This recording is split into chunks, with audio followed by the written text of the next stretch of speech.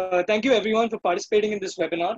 The topic for the webinar is lung cancer management. This initiative is brought to you by Integrated Academic Society of Clinical Oncology, American College of Digital Healthcare, South Asian Journal of Cancer, AstraZeneca, Intas Oncology, and Kavina Creations. I will go through the basic etiquette for the meeting. We have muted all the participants till the end of the speaker session. And for this reason, we request you not to mute your device yourself. If you have any questions, please make use of the chat feature and send the same to Sophia Anthony Raj. Once the presentation is done, you will be able to ask your question. I will unmute you and you will also be visible on the screen when you talk. Please note that you have the option of joining with video or without video. Please be conscious of your attire, orientation, and your display picture. Please also be aware of your surroundings. Now I would like to hand over to our first speaker for the evening, Dr. Senthil Rajappa. Over to you, sir. Thanks, Kashish, and uh, good evening to everybody who has uh, tuned in this evening. Uh, so the topic given to me is what is the ideal treatment strategy for EGFR mutant non-small cell lung cancer? And that's not an easy question to answer, but what I will try and do in the next 15 minutes is to see analyze a little bit of this data to put some sense into it. And then I will end with my opinion on what we should be doing for patients with EGFR mutant non-small cell lung cancer. This is the most recently published Pan-Asian adapted guideline. Uh, the options for anybody who's got an EGFR mutant lung cancer is listed up there. You have one, two, three, four, five, six, seven options. That's something like this. Next slide, please. Now, if you are the medical oncologist and you're going through these options, those options are getting longer and heavier. And let's try to dissect through some of this data in the next 10 to 15 minutes. Next slide, Kashish. Right. So what I will do is not go into the nitty gritty of each of these studies. I thought I will start by taking studies which have shown overall survival benefit only today. So there are three trials or strategies that have shown overall survival benefit. One is the Archer 1050. The second is the FLAURA study. And the third is the chemotherapy plus TKI strategy. All of these have shown overall survival benefits in EGFR mutant lung cancer. Next slide. This is the most famous of them all, at least on paper, supposed to be the best. Now, this is FLAURA, where patients were randomized to osimertinib with either gefitinib or erlotinib in the test, the standard arm. The hazard ratio was 0.80, not so great. If you look at the confidence interval, the upper limit of confidence interval is nearly touching one there. And the p-value has just scraped into, into the confidence levels. But having said all that, if you look at the curves, they start separating very early at the end of 36 months, you've got more than 50% of patients in the osimertinib arm still alive compared to about 10% less in the gefitinib arm. So this is the most important data that one has to know as far as single agent studies for EGFR mutant lung cancer is concerned. Next slide, Kashish. Right. So we always get into this subset analysis and then say patients who were Asians did not benefit. Nobody has really been able to explain why Asian patients don't really benefit. And then when you come down, you see that the deletion 19 patients seem to be benefiting while the 858R don't seem to be benefiting. We still really don't know the reasons for this differential benefit. Nobody has been able to explain this properly so far. Next slide, please. So if the data is not so robust, though there is an overall survival benefit of about six months, why is it that then all of us are so taken up with osimertinib and you ask anybody which is the best choice, they will immediately blurt out saying that the choice is osimertinib. So these are the reasons, and I think it's very evident from what happened to patients post the trial. Now, if you look at in general, Kashish next slide, if you look at these in general, you see that only around 40 to 50% of patients actually get on to the next line therapy at all. So nearly half of all patients stop with first line therapy. Now, again, if you ask anybody who practices lung cancer medicine, they will tell you that you have to test for T790M and 50% of patients are positive for T790M, and all of them have to get onto osimertinib. Now look at what actually happens in the study. If you started with 100 patients, when you expect 50 to get onto osimertinib, only 30 get onto osimertinib. So not all patients get onto the optimal second line therapy as you would like them to. Now, the other important issue that one needs to keep in mind is that you can't really predict at the time of diagnosis as to who will have T790M mutation at the time of progression. Because if you have a T790M, then the option is obvious. You have to get onto osimertinib. That's ideal. If you don't have it, then your outcome is not going to be as optimal as somebody who got onto osimertinib. And if you look at what happened on the study, you say that nearly a third of patients who went on to second line therapies actually got onto a second line TKI, which is not osimertinib, typically not something that would lead to an overall survival or a progression free survival benefit. But then for all of you, that is real world practice also. We try to juggle around with all the drugs that we have. The two other most important reasons why people use osimertinib, CNS efficacy is absolutely super compared to all the other options that we have. And so is the case with tolerance compared to all the other options that we have. So this is one slide that tells you the most important reasons as to why osimertinib seems to be the best choice for most of our patients who are diagnosed with an EGFR mutation positive lung cancer. Next slide, please.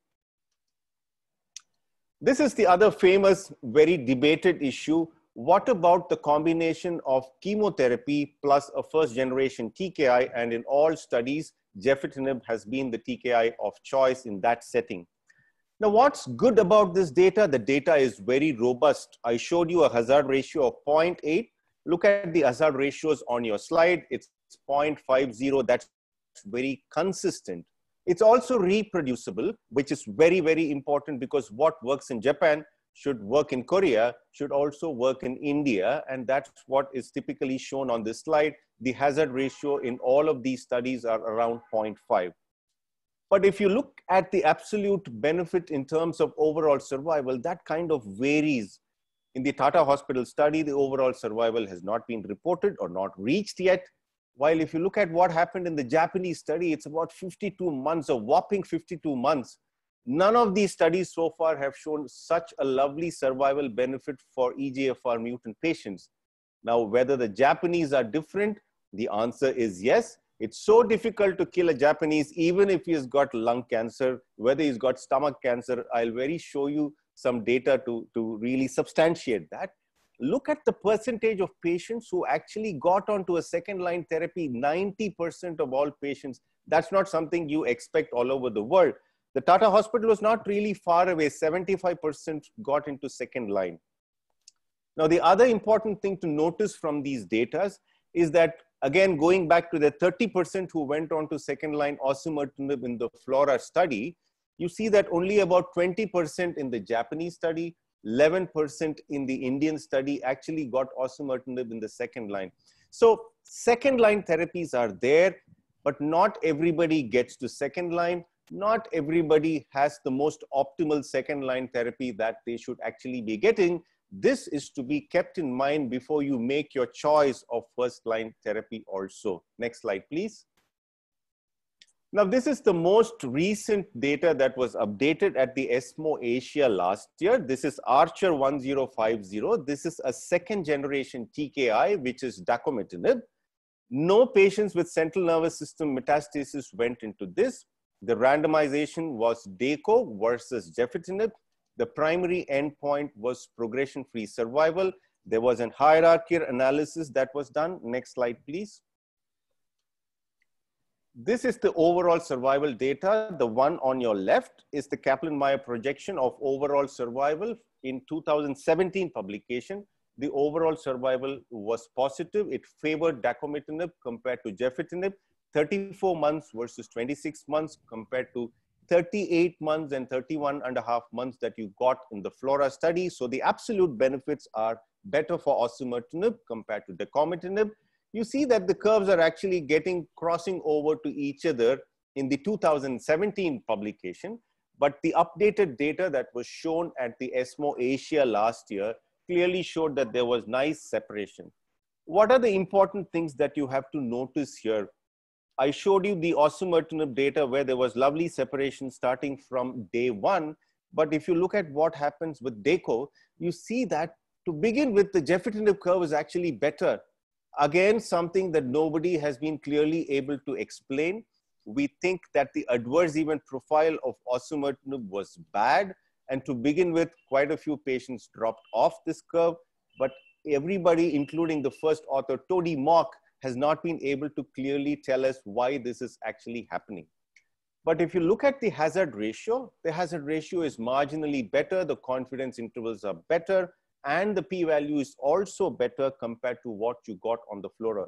So there are some problems as far as this analysis is concerned, but that is the data for you.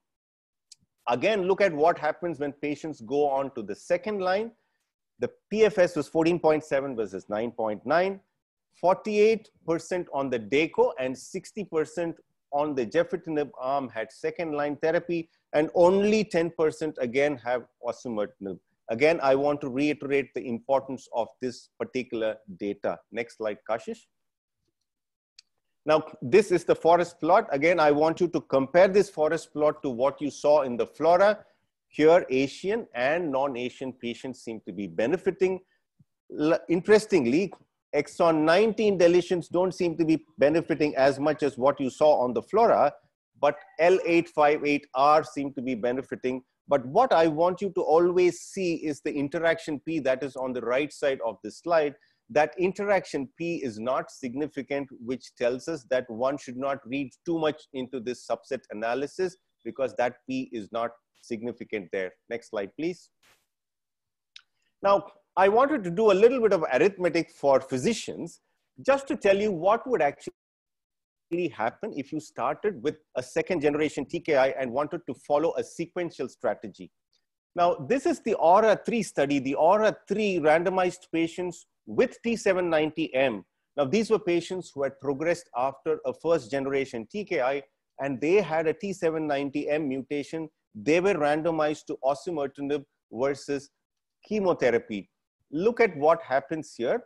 There's no survival benefit. And the reason why there is no survival benefit for osimertinib is because 73% of patients on chemotherapy actually crossed over to the osimertinib arm. Now they did some mathematical statistical analysis and they did some crossover adjustment and came up with this Kaplan-Meier curve, which shows that if you didn't get to the crossover, this is what your survival would have been. You would have benefited with osimertinib 26.8 months. If you took only chemotherapy, your survival would have been around 16 months. So a 10 month difference in overall survival. Now let's do that small calculation if you took a second generation TKI, your PFS is 14 months with dacomitinib. That's what I've taken as the prototype here. Remember, that is data for patients who don't have CNS metastasis.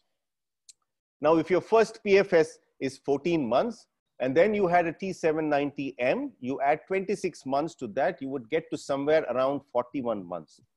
But what I want you to notice even more importantly is that if you didn't have a T790M, then you would get 14 months plus 16 months, which is what you get if you went on to chemotherapy. And that's grossly lesser than what you get as the 38 months survival in the FLAURA data, right? So when I try to tell you that you cannot predict who's going to get T790M at progression, this is what I was trying to explain that if you got a T790M positive, you got onto osimertinib, your survival is great. But if you didn't get that, then your survival is not so great. And that's why many people feel that get onto osimertinib straight away, and then you don't have to worry about who's going to get in here and there. Next slide, Kashish. Right, we towards the end, we come on to these uncommon mutations with greater application of NGS in our patients. We are now seeing that we are finding out more patients with uncommon mutations. That's roughly around 8 to 10%. Now, when it comes to uncommon mutations, the drug that takes the cake is afatinib because that is what has greatest data in this group of patients. you see the comparison between afatinib versus the first generation afatinib trumps the first generation TKI in terms of response rates. Next slide, please. Now, there's recent data in uncommon mutations with osimertinib also. You see that this small data with 36 patients again clearly shows that osimertinib also works in this group of patients the overall response rate is around 50%, which is not very different from what you get with afatinib and uncommon mutations. Next slide, please.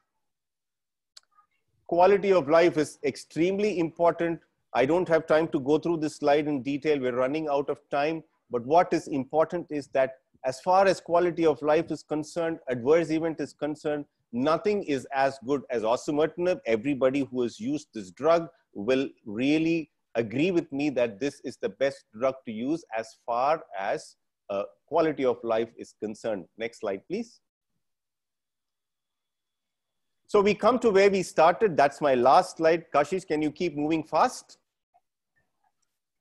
Yes, great. So uh, this is my opinion. If you have somebody with central nervous system metastasis, a frail elderly or somebody with T790M at the time of diagnosis, that is 2 to 3% of all patients, there's absolutely no doubt that osimertinib should be the drug of choice. But if you had somebody who's young and fit, you could still use a sequencing strategy, either dacomitinib or chemotherapy plus gefitinib, or you could still use osimertinib in this group of patients. If you had uncommon mutations, afatinib or osimertinib would be your drug of choice. For all the others who don't fit into any one of these categories, please don't forget that we have the good old warriors, gefitinib and erlotinib. Of course, if your patient can afford afatinib, that's also a great drug to use. Kashish, next slide. But ultimately, at the end of the day, this is what is important. You have to sit, use your brain a little bit, put that data into perspective, talk to your patient, and then finally say that this is the best choice for you. With that, I will stop and hand it over back to the organizers. Thank you for that opportunity. Thank you very much, Senthil. That was absolutely amazing and to the point. Um, uh, please continue to be with us because there will be a lot of questions towards the end. And I hand over back to Kashish for the next part.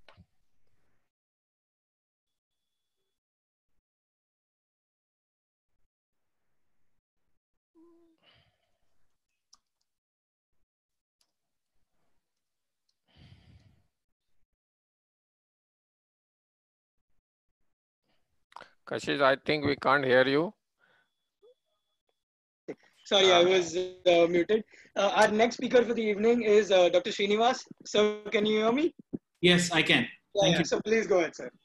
Uh, good evening, everyone, and pleasure to be here. Uh, thank you for this opportunity. I would be speaking on radiation therapy for brain metastasis from non-small cell lung cancer. A little bit of perspective on lung cancer management during the COVID as well the general philosophy to give you a snapshot uh, during the pandemic is to avoid uh, radiation if possible in avoidable situations. If you cannot avoid, you limit the number of uh, radiation, uh, uh, the limit the radiation dose and the exposure the patient would have to the hospital. Uh, so you either give single fraction or hypofractionate. If you cannot really limit, or even if you can limit, you must protect the patient. Whatever is needed to be done, you need to be done you, need to get it done. If uh, even despite the protection, the patient uh, uh, has some symptoms, you have to be alert to, to investigate it uh, and have a lower threshold to investigate and make sure that the patient is taken care of as well as the other patient get, don't get infected. And if unfortunately the patient does get infected, you need to individualize the treatment strategies. Uh, the, the restriction of services is also varied, so you cannot indiscriminately escalate or de-escalate the treatment based on this.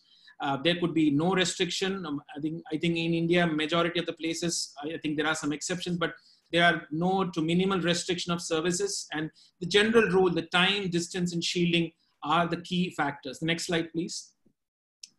Coming to how to manage brain metastasis in non-small cell lung cancer patient, you need to ask few specific questions. I mean, you will obviously go through how many number of metastases you, you, are, you are seeing on an MRI, um, where are the location, what's the volume, um, and what are the symptoms. But typically at the time of diagnosis, you need to see key four key things.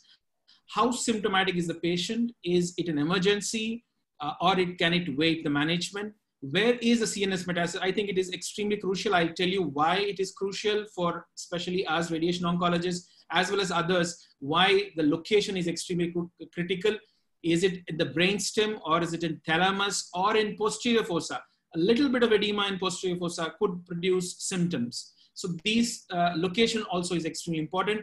Can systemic therapy be offered to delay intracranial treatment? This is irrespective of you, whether you are in COVID situation or not, because we know there are toxicities associated with intracranial treatment. And we need to ask ourselves, can systemic therapy be offered to delay intracranial treatment? The number four, if the intracranial treatment has to be delivered, is it amenable to SRS or a fractionated radiosurgery? I would tell you in next one or two slides, uh, which patients are suitable uh, for uh, this uh, stereotactic uh, based treatments, either single or limited number of fractions, or does the patient require whole brain RT? At the time of recurrence, all these four questions again pop up again, but do I have any active systemic therapy still to offer? What is the status of systemic disease burden at the progression? This is also extremely important. The next slide, please. Uh, regarding the sequence of radiation and systemic therapy, uh, there is very little uh, good quality evidence. I don't want to bombard you with a lot of evidence, but I can tell you that there is no uh, high quality evidence as far as the sequencing is concerned, whether we do TKI first or intracranial treatment first for uh, oncogene, oncogene driven non-small cell lung cancers with brain metastasis, or we give a combined treatment, at least the retrospective data shows that upfront intracranial treatment is better than upfront TKI. I would uh, give you some evidence on that in the next one or two slides. But primarily, those studies were done in an era where the latest generation TKIs were not available, and hence there could be a lot of bias also associated with retrospective studies. Also, to, to, to tell you why location is paramount is the, the partial response rate, at least for radiation, is near 100%. But whatever drug you use, osimertinib, alectinib, uh, highest CNS penetration drug, the, the PR rate, the partial response rate is near 80%. The CR rate is between 20 to 40%.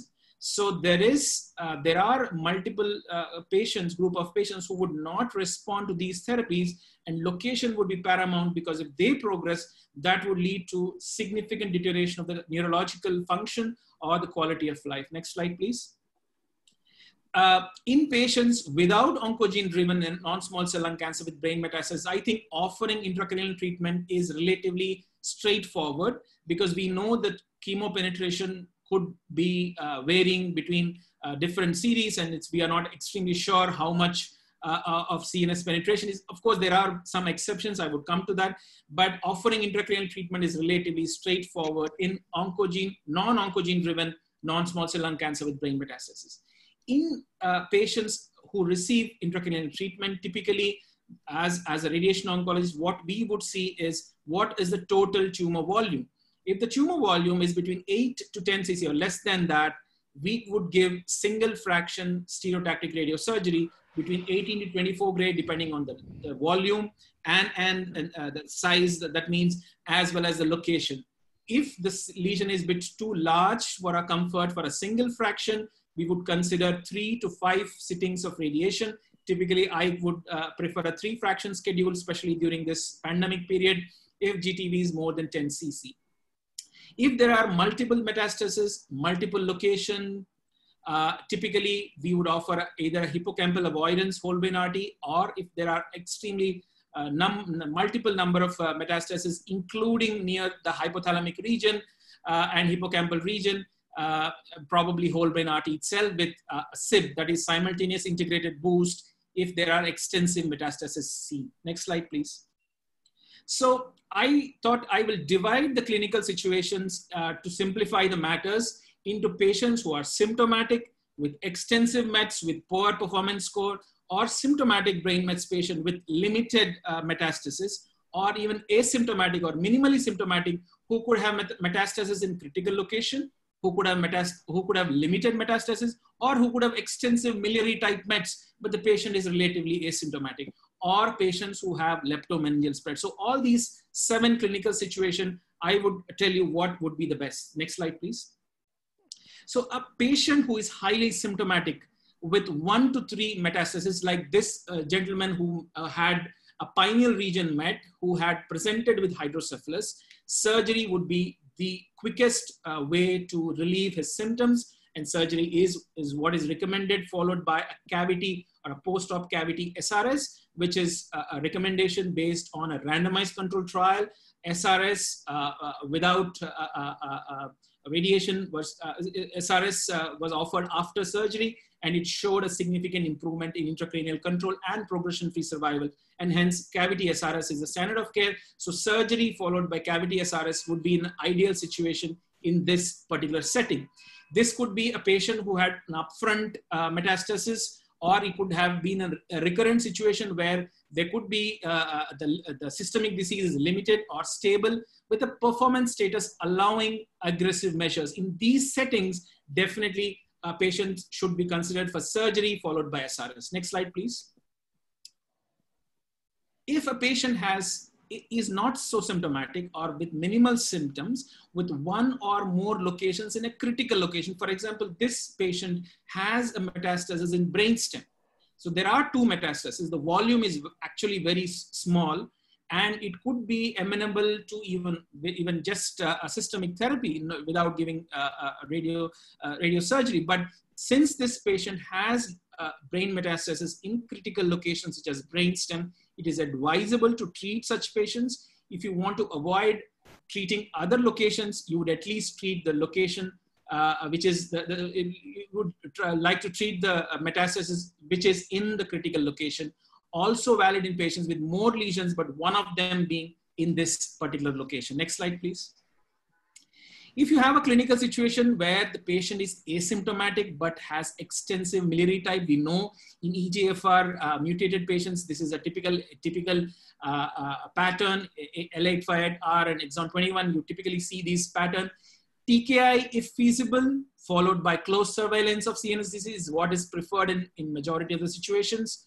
And then you offer hippocampal avoidance, brain if feasible as salvage, of course, this is one option. The other option is that you would directly go for intracranial treatment. Uh, in the absence of oncogene-driven mutation, in such situation, intracranial treatment at least is preferable, especially during this COVID uh, situation because it is least invasive, it is least immunosuppressive. You could use a hypofractionated schedule of four to five sittings of radiation where you could delay chemotherapy, in fact, in a metastatic setting uh, uh, it, there is no hurry to start uh, treatment if the patient is not overtly symptomatic or doesn't have a visceral crisis for extracranial disease. Next slide, please. If a patient is asymptomatic with limited CNS matters, not like a miliary pattern, what we see, we could uh, of there is little very uh, very little gain in dealing SRS in such situation because you would give, be giving very localized treatments followed by TKI would be the easiest way to go forward. But having said that, these are precisely the patients who would actually be safely be observed because there are these are these patients have limited volume metastasis in non-critical location. They have a, a, a option of a, uh, effective systemic therapy. So a patient who would receive TKIs, uh, if the patient responds with at least a partial response, a close intracranial surveillance can be continued. If the patient progresses, or uh, I think this I've underlined because if the patient even has a stable disease, I would be tempted to treat such patients with intracranial treatment. Uh, if there is progression, of course, whole RT is the option. Is this the right option if a first generation TKI is being considered is a question which we need to ask. For example, if this patient is put on Gefitinib, should we be, should he, is it safe to consider TKI alone and delay SRS because SRS would lead to minimal intracranial toxicity. Next slide, please. So there are two major studies just to summarize the entire uh, evidence on this. Uh, the first one is publication from the uh, JCO. It was published a few years ago.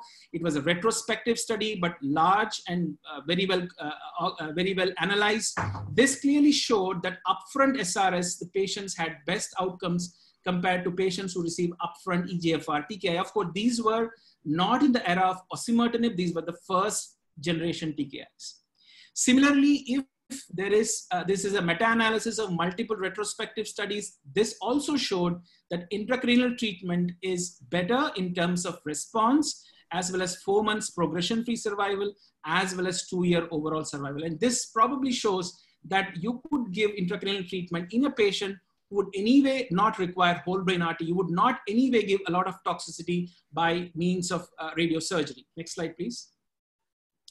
In the fifth situation where the patient is highly symptomatic with extensive disease, uh, there is, of course, a randomized trial called QUARTZ trial, which actually compared patients between whole brain RT versus best supportive care.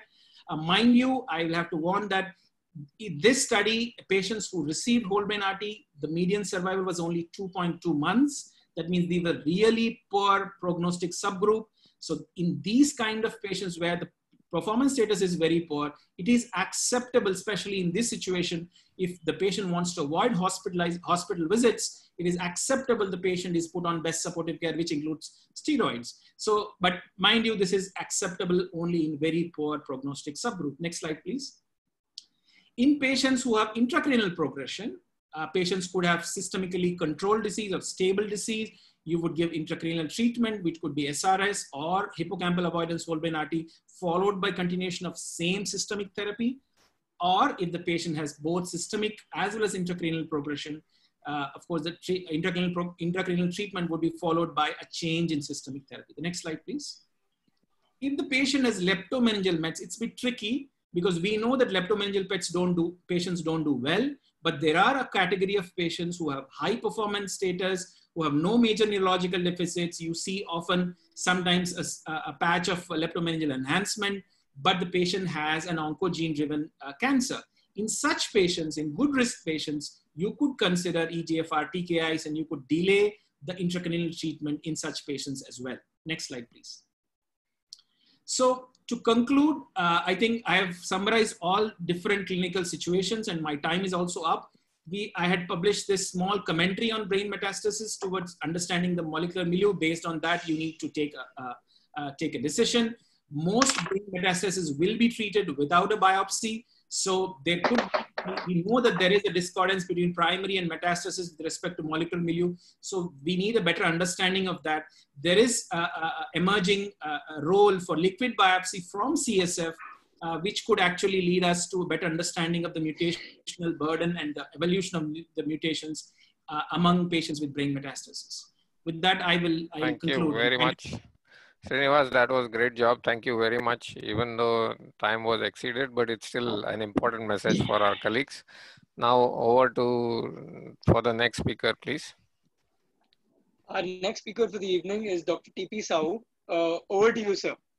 Yeah. Uh, good evening, everyone, and uh, thanks, Dr. Uh, Purveshar, for giving this opportunity. So, in the next 10 minutes, my job will be to talk about the prevention and management post radiotherapy that was a talk given to in brain metastasis in oncogenic driven NSCLC. Okay, so so for introduction, I divided that I'll be speaking one or two slides will be introduction, which will be fast enough. Then we go to EGFR mutations, then the ALK mutations, and the last part already Srinivas has covered it. But there'll be two slides. Are uh, can we really avoid RT in a particular subset? Not uh, more than not more than two slides. Next. So incidence of lung cancer with brain metastasis increasing, and uh, that's very, very important for us. And we have to remember that uh, brain is the sanctuary site because of the blood-brain barrier. If uh, are no brain metastasis, actually, there are no systemic drugs to not are not able to reach because of the blood-brain uh, barrier, the tight endothelium, and that is the main reason why there's a lot of concern. And the rates of brain metastasis, if you look at it, around 25% of lung cancers would have metastasis at presentation and gradually, gradually they go up to that data are there that approximately three-fourths of patients in their whole lifespan would have a brain, uh, lung, uh, brain metastasis. Next slide, please.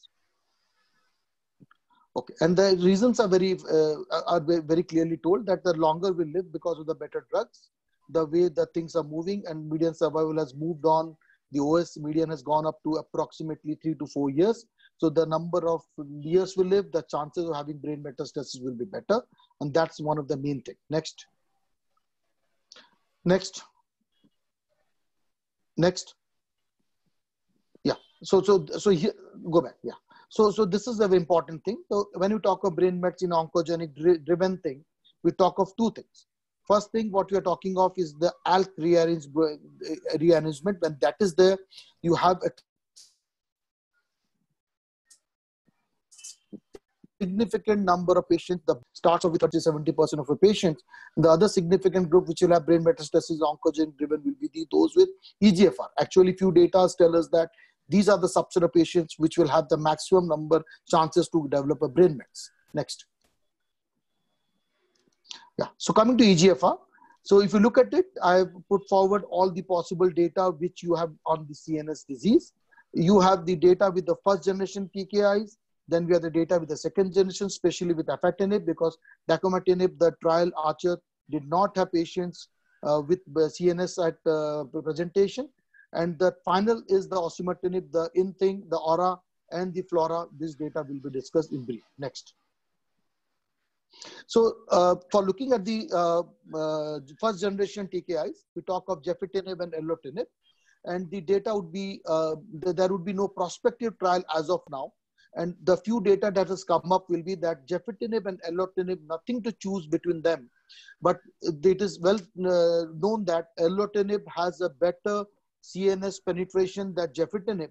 And one of the reason also could be that the uh, the substrate, the, the which throws away the cytochrome substrate, which throws away the uh, pump, which throws away the drugs away from the CNS.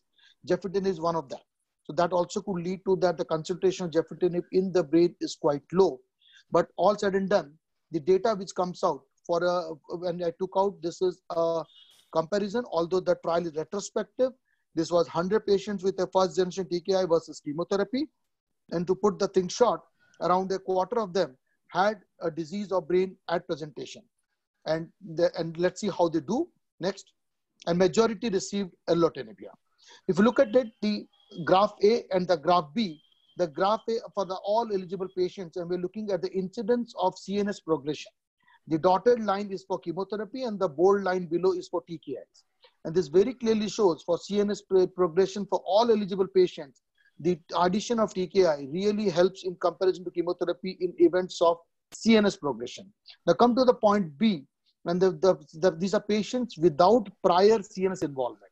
Means those whom you would be preventing the CNS disease from appearing if you give a good systemic therapy. And here also, the TKIs have done a better job than the chemotherapy. Next. Next slide, please. Yeah. And, and if you look at it, no, no, go back. And, and look at the, uh, yeah, look at the last C is the graph.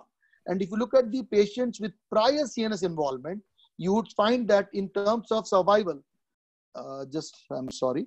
Yeah. In terms of survival, uh, there is no much of a difference for the events if they have a price unit. This is for the first generation TKIs. Go, go ahead. The first in TKI to start it out are largely retrospective data, small numbers. Brain mets were actually a trial exclusion criteria and still isn't there in some of the patients, uh, some of the trials. The response rates have been variable from as low as 50% to as, as 80, 85%. And these patients, one is to remember, most of them had prior radiotherapy and that is and radiotherapy does have a better overall response rates and disease control. Next. Now coming to the afatinib, this was the LUX-Lung 3 and 6 and 7 put together. This is two graphs, one on the top and one on the bottom. And if, we if you look at it, the, the red line and the blue line, and we are looking at the development or chances of uh, a, a, a, risk analysis of progression afatinib treated patient for with uh, for brain mets and if you look at it, the upper one is for baseline brain mets, and these patients with baseline brain mets, they do much better with afatinib compared to uh, the, uh, the, the arm which were, did not have, and these are chemotherapy arms. And the lower one was those without baseline brain metastasis, and this was significantly different and superior for patients who went on to receive afatinib. Next. And this is the important thing. And, uh, and the put and, and the arrow where it is put is a trial between afatinib and the gefitinib.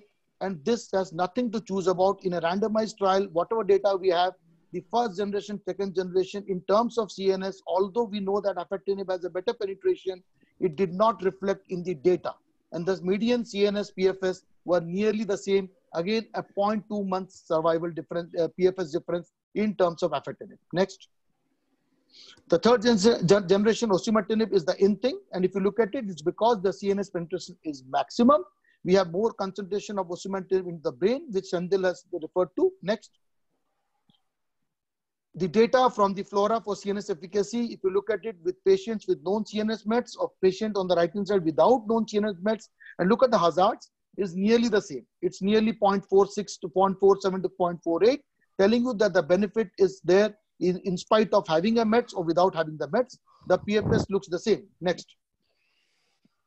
This is important. If you look at the green, that is for standard EGFR TKI. In the FLAURA, it was the first generation.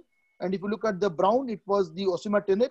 In patients with known CNS at trial entry for progression at CNS, osimertinib did much better.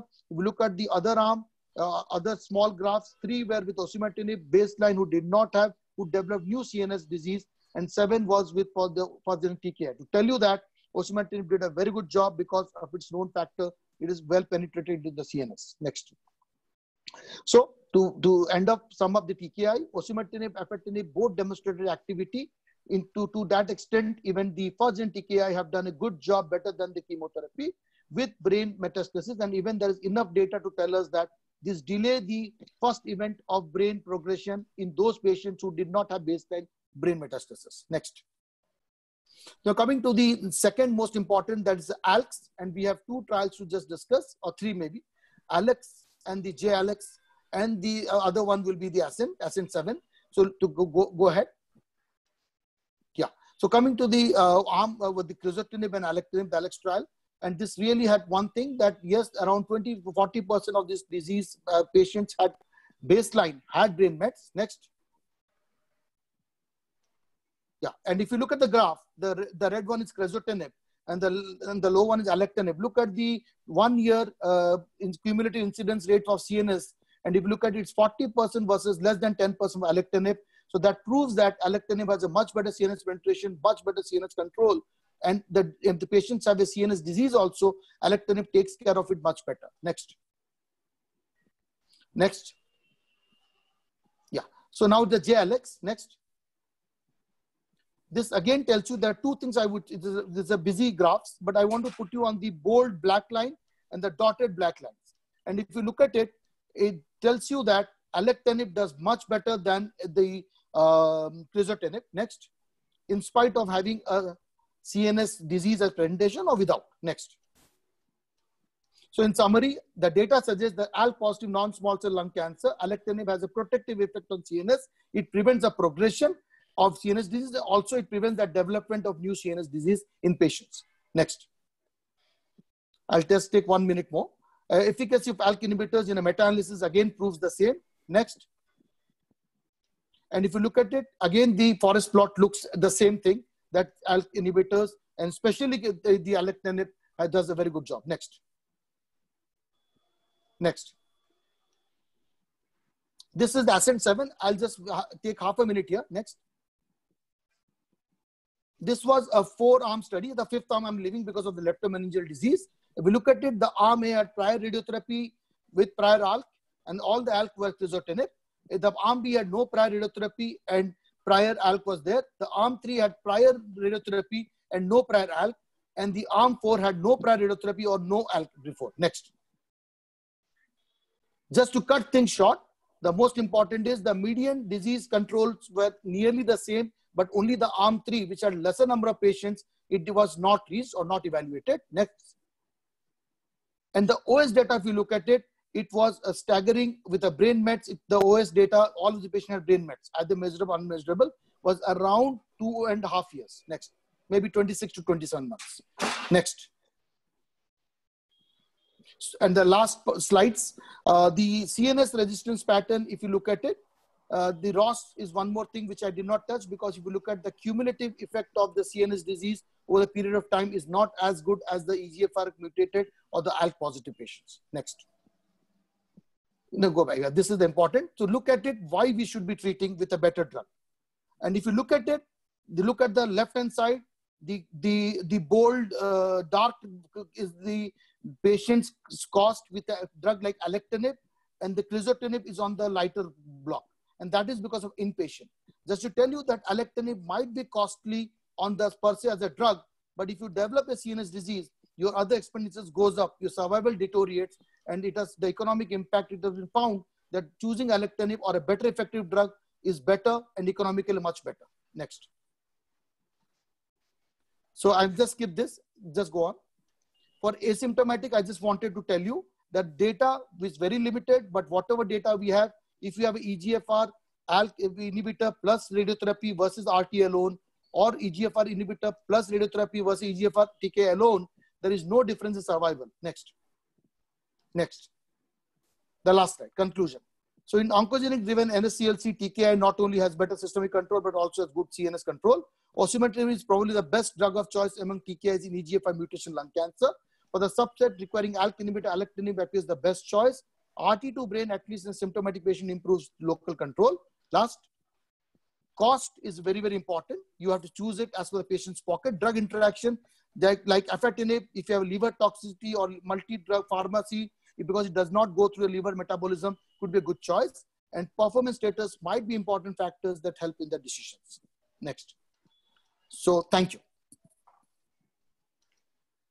Thanks very much, Sahu. You had to run through a lot of data, but I think this is very important because, as you rightly pointed out, CNS metastasis will keep on increasing and we will find them in the majority of patients. So how to look after them is really crucial.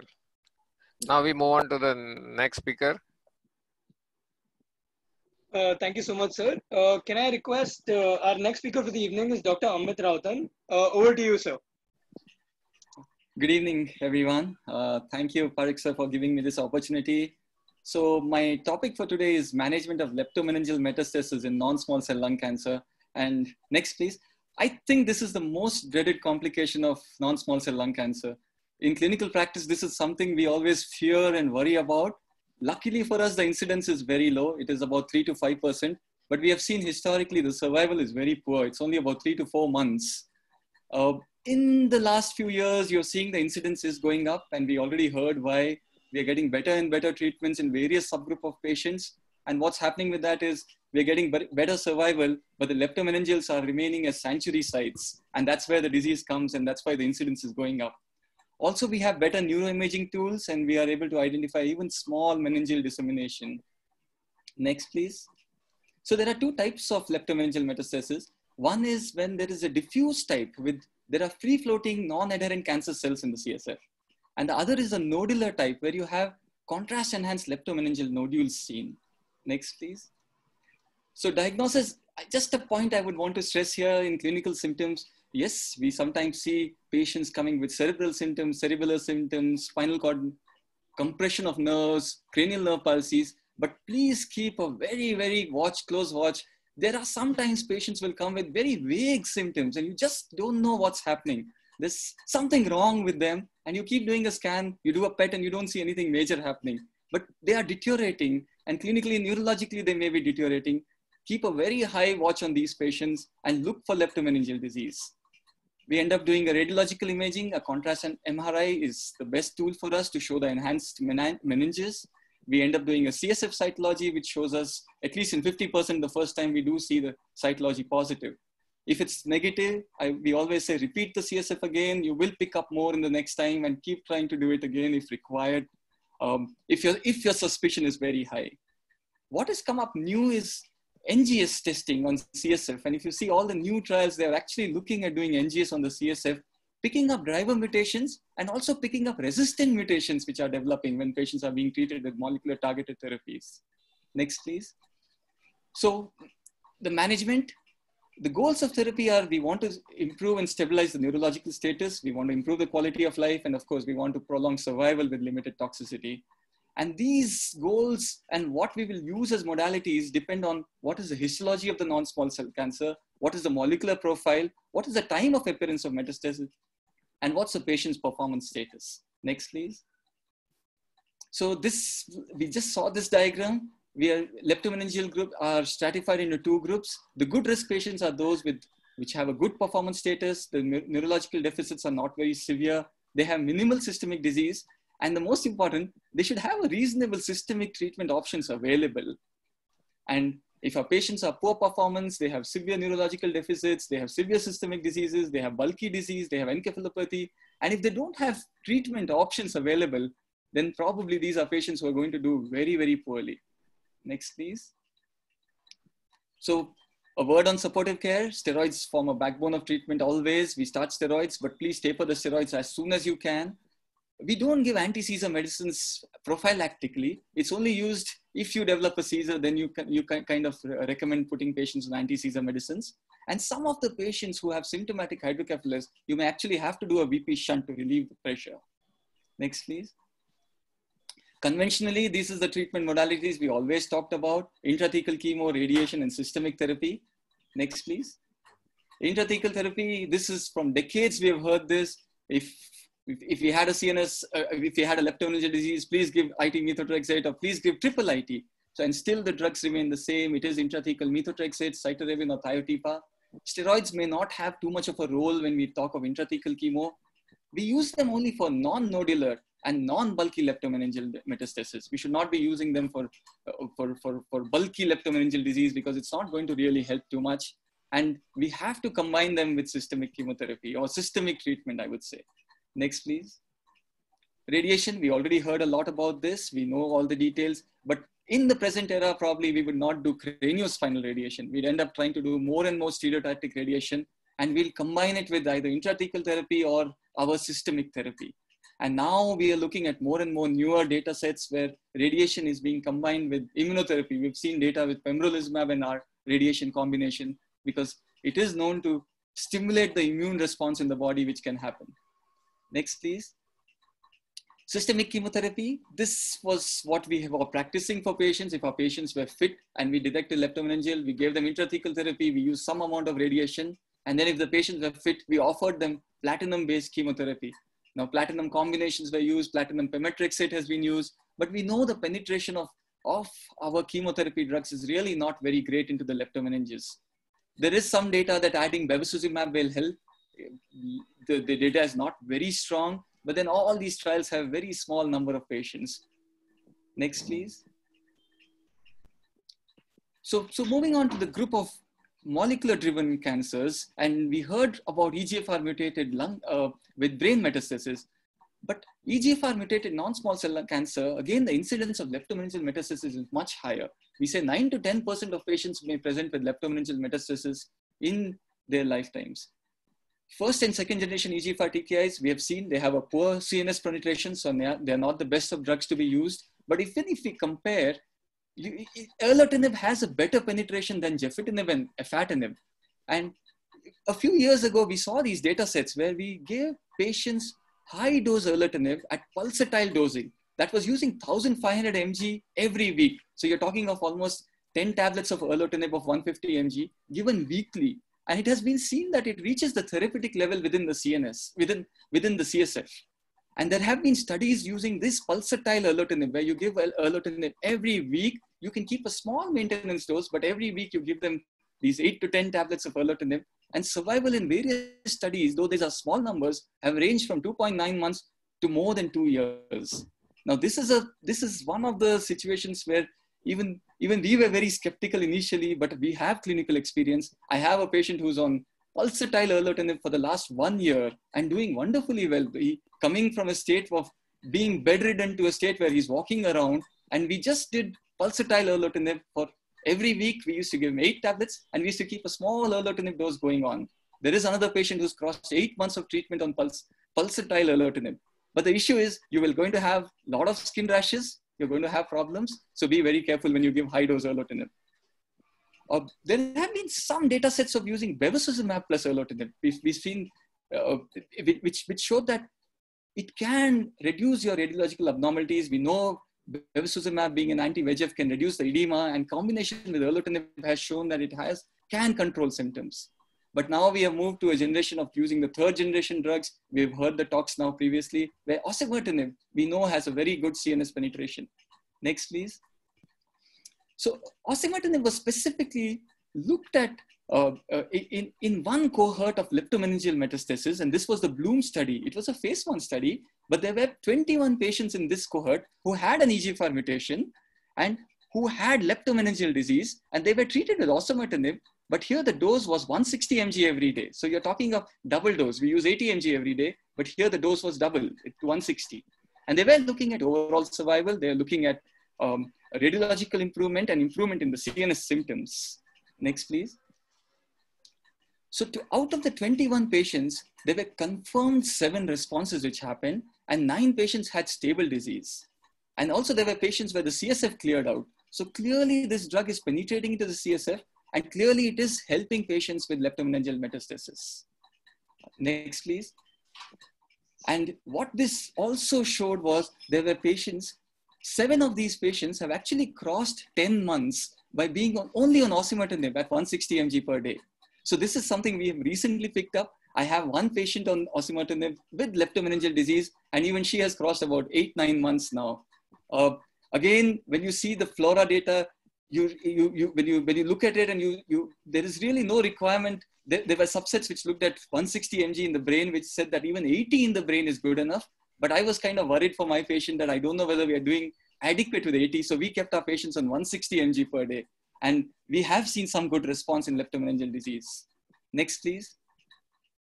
What about immunotherapy? This is probably the most exciting part of treatment in lung cancer these days, but we need to understand these drugs have very high molecular weight. They cannot penetrate the blood-brain barrier, but we know they can unblock the lymphocytes and these lymphocytes can penetrate the blood-brain barrier and then can give us response.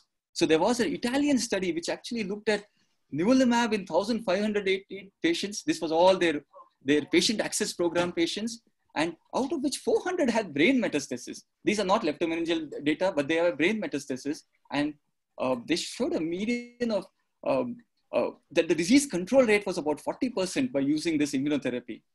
And now there are data sets looking specifically with immunotherapy in combinations for patients with brain metastasis and also for leptomeningeal metastasis. Next, please. Yeah, so this is my last slide. Now, if you have a diagnosis of leptomeningeal metastasis, you, you see your patient's performance status. I spoke to you about the risk factors. The good risk patients, please look at the molecular uh, targets. If they have a EGFR mutation, the best therapy in the current era could be osimertinib.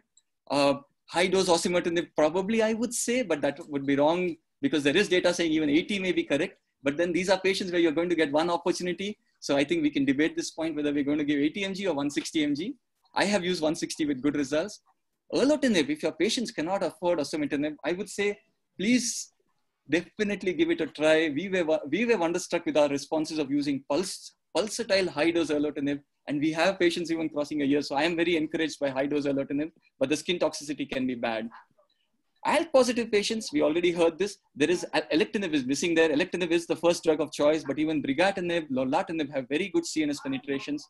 If your patient is EGFR and ALK negative, now there is the differences. If it's a non-nodular disease, please think of chemotherapy. You can combine intrathecal and systemic chemo. Bevacizumab may have a role to play.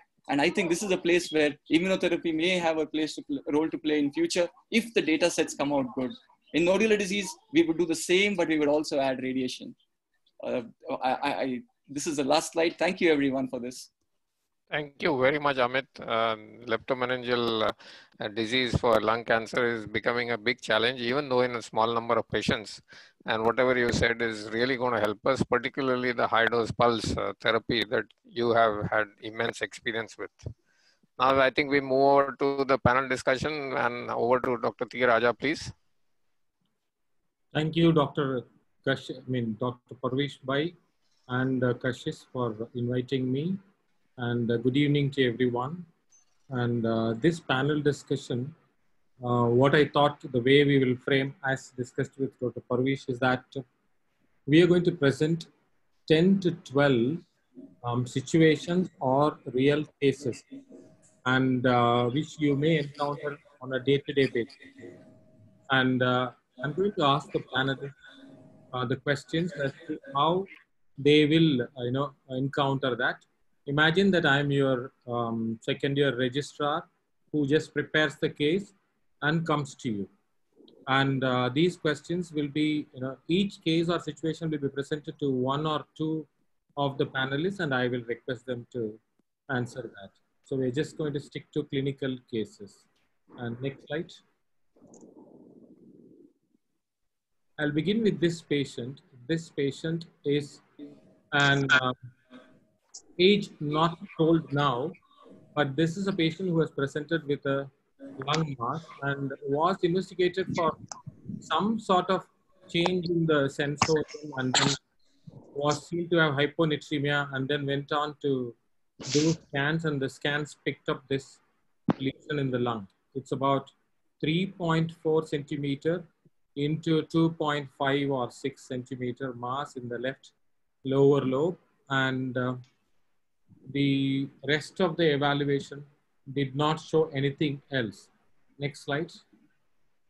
So that's the PET CT image of the lung mass and the biopsy is confirmed as uh, the biopsy is confirmed as adenocarcinoma. I'm hope I hope that I'm audible. Yes. And uh, thank you. So I will uh, go to you know Dr. Sanjay Sharma. Sir, when you see this patient, what comes to your mind when you see a patient which has got a T2 lung lesion and apparently is node negative? That's what we thought at that point. This presented in 2016 and also all metastatic workup negative. Uh, thank you, Dr. Raja. I think this is a clearly a resectable lesion. Uh, but yes, uh, further workup, uh, as you said, no metastatic disease. I would definitely like to do an MRI of the brain. Normal, sir? MRI of the brain because usually about this size of lesion, there is almost about 2 to 5% patient you may have a silent brain metastasis. So we do that. And uh, we definitely like to study the mediastinum, uh, though in this single picture, I can't make out with the nodes around in the mediastinum. Normal, sir? Sorry? Both are normal. MRI. Both are normal. Then uh, I would, uh, if the patient's COVID is negative at this moment of time, I would go ahead and uh, do surgery. And 2016, sir. Sorry? 2016 was the presenting date. Right, then I will go ahead and do a, do a lobectomy. Okay. Only one more information. Mediastinal clearance. Clear, yes. Only one more information. This patient turns out to be age 99. For me, for me, age criteria, uh, age is a number.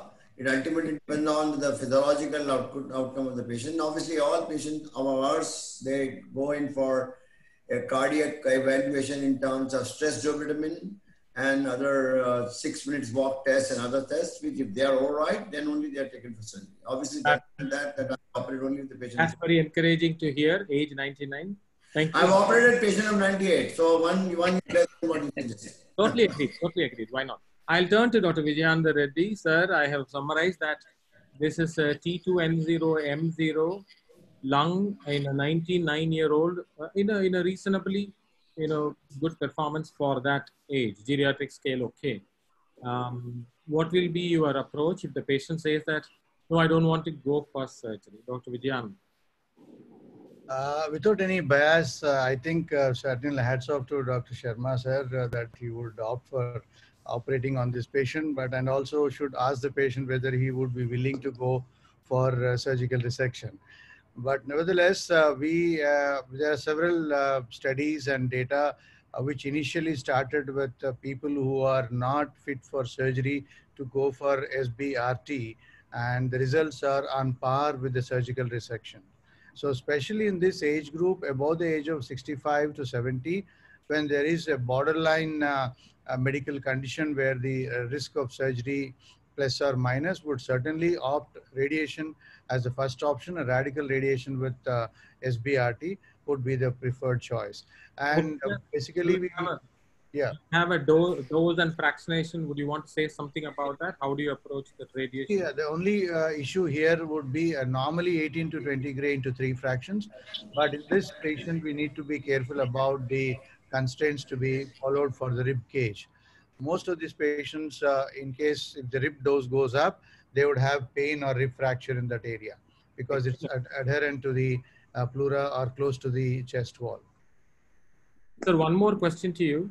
Um, do you think that uh, if this patient had come over now, do you think a higher technology like proton therapy will be indicated or not?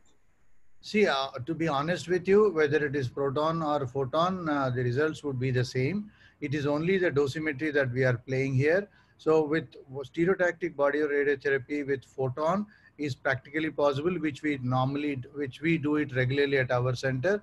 We have more than more than 42 patients uh, uh, data to support uh, this. Uh, and world over, there are several patients which have been treated with uh, standard photon therapy. Having said that, proton would certainly have an advantage because it is a localized lesion at posterior wall.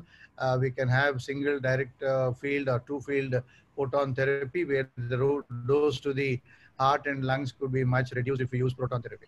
Thank you, sir. Um, next slide. I also, I told you that I am a registrar presenting the case, but remember, all these patients are also going to come with second opinions. So that's also something that I want to tell the panelists.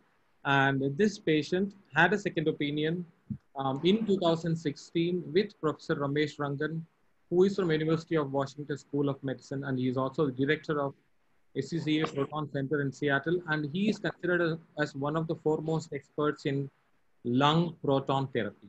So this is what he had to say. Dr. Raja, I think proton is not needed. Hypofractionated radiation is fine. As beautifully covered by Dr. Uh, uh, Vijayendra Reddy, he talked about chest wall pain syndrome, and he suggested that we should approach this with what they called as an NCIC approach, and he sent the paper wherein he had hypofractionation, like uh, you know 400 CGY into 15, and that's what. Next slide. And this is what really happened to that patient. That this patient presented in 2016, went on to receive 60 GY Toto SBRT, and you would see that six months later in March 2017, the image is kind of dimming. And one year later in August 2017, you would see that the lesion appears to be almost inactive. And uh, thank you, Vijayendra Reddy sir, to be point on the point. Next slide. Raja, one question. Um, Govind, yes, uh, quickly, please. Raja, you said this, this patient came with hyponatremia. Yes. Yes. So I recently had a yeah I recently had a patient who came again like this with hyponatremia, and uh, we really looked for it, and he also found to uh, was found to have adrenal metastasis. Yeah, yeah. No, we'll I'll tell you, Govind. I mean, yeah. There are 10 to 12 cases, but I take your point. Well worked up, including yeah, yeah. complete Sure, sure. workup, including So what? Yeah, yeah, I agree, I agree. So what happened to the hyponatremia after you gave Right, him radiation? This correction all settled. down. Okay, okay, thanks. And now it's five years down the line. Okay. Patient is still fine. Sure, sure. So There are some more stories behind the patient that's different. Okay, Now, I will. I will come to uh, another patient, and I'm going to come back, come to you, uh, Dr. Govind Babu, with this. Yeah, yeah. Uh, next slide. So we all now heard, you know, beautiful lectures from all the uh, all the previous speakers on how they would approach EGFR mutation now in 2020. But um, the Govind Babu, this is a patient who is, you know, around 59 to 60, a lady with absolutely normal, uh, you know, performance status.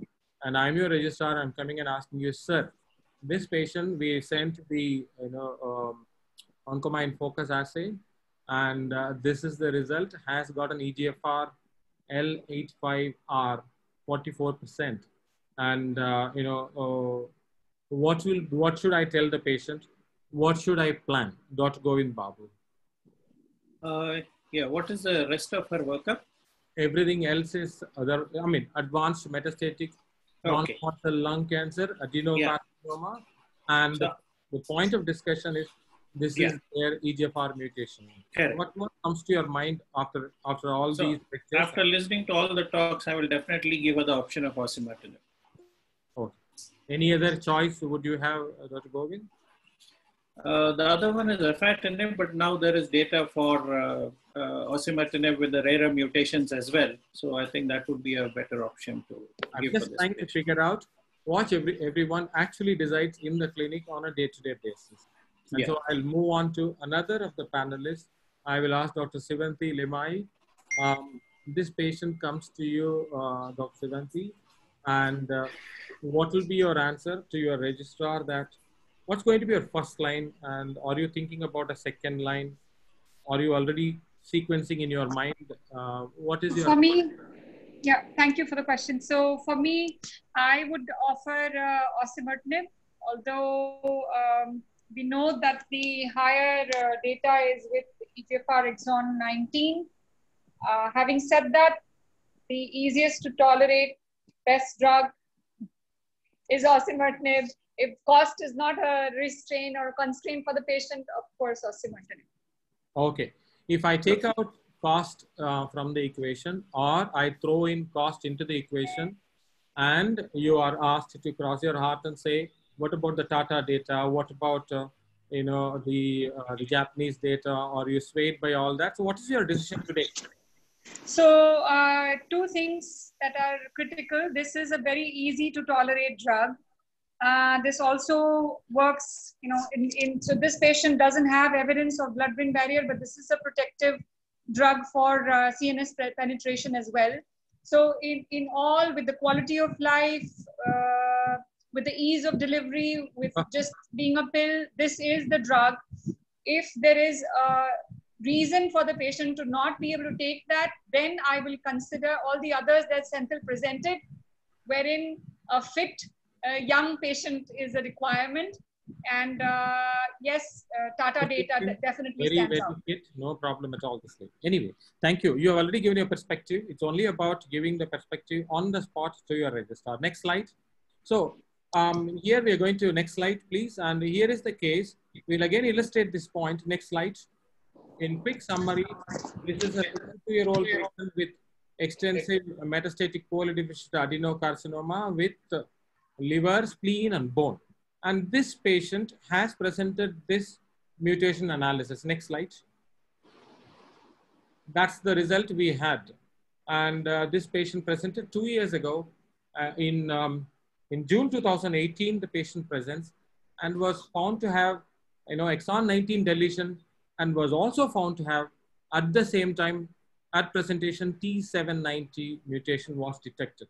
So I'll turn to Dr. Amit Verma. Uh, Amit, um, 2018, your perspective, and then 2020, your perspective. You can argue it both ways. Dr. Amit. Uh, so, so I think uh, 2018 and now the treatment would be the same. Osimertinib will be the first choice, and um, Doctor. yeah. Yeah.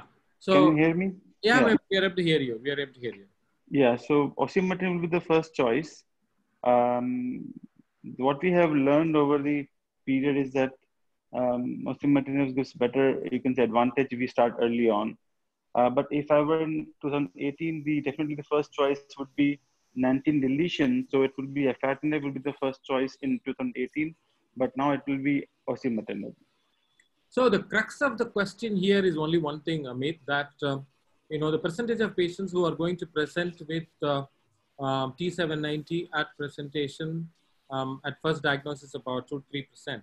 So is it going to necessarily uh, be a factor in considering your first line choice or not? Earlier, apparently these patients were there and we couldn't know, and uh, so we were always happily treating. So what is your comment on that, Amit? And then I'll go to Vamsi next.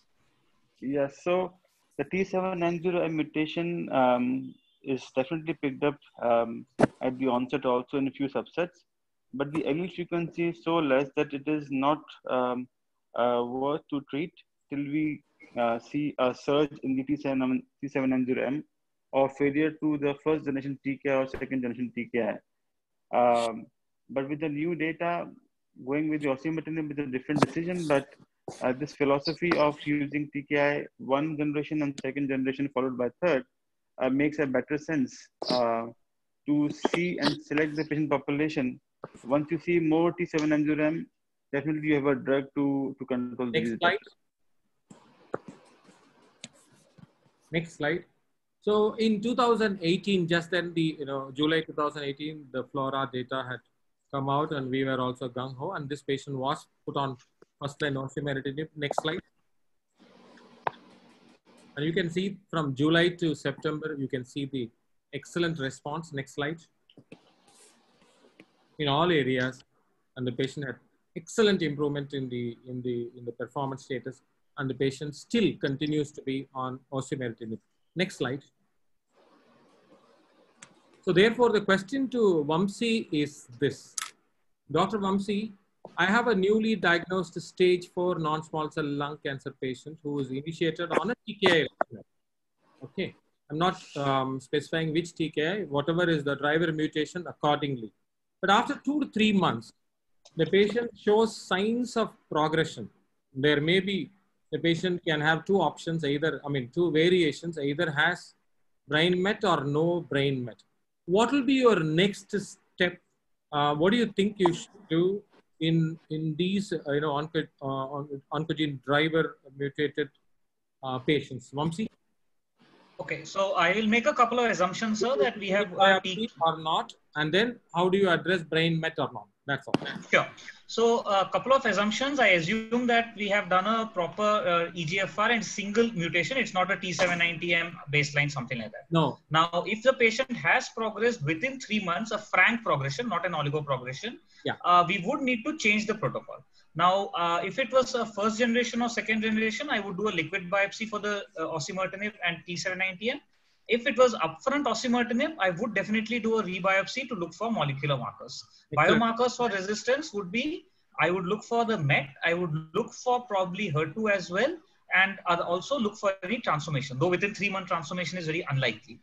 Uh, coming to brain mets, uh, if it is a oligo progression with a single brain met and other lesions well controlled, I would give local RT to the brain met alone. If it is a progression in systemic and brain, then we have to change the therapy. Next slide. Thank you, Vamsi. That's exactly what was told by you know Dr. Anastasios from Mayo Clinic and rebiopsy.